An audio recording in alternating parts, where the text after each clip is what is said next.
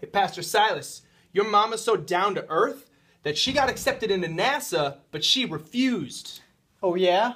Well, your mama's so reasonable, Confucius be jelly.